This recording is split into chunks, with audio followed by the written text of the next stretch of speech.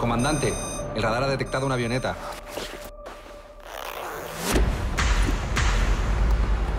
Yo sé que me equivoqué dejándola ahí, pero esta vez no va a volver a pasar. La evolución de Roxana en esta nueva temporada, dos años después, pues que ahora todo el mundo sabe que ella es el profesor.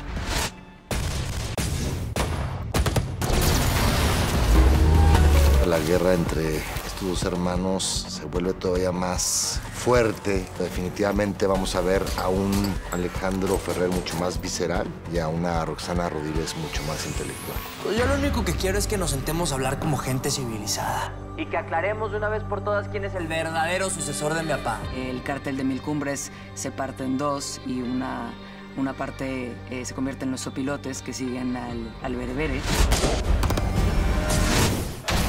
Y entonces ella está atacada tanto por la policía como por los sopilotes que quieren quitarle la gente que todavía le queda a ella.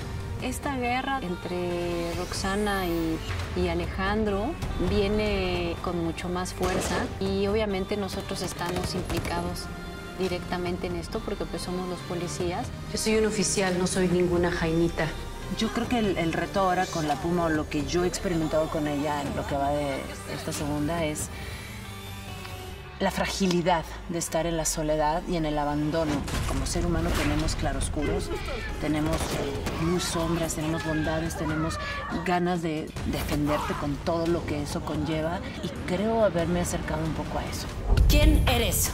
Soy el que te va a ayudar a salir de aquí. Y interpreto a Martín Ustariz.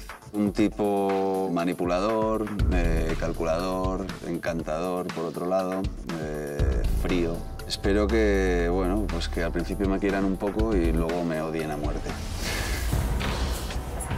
Cómo se interconectan los personajes y la relación que tienen cada uno, de pronto en esta historia es muy diferente porque no sabes nunca en, en quién confiar.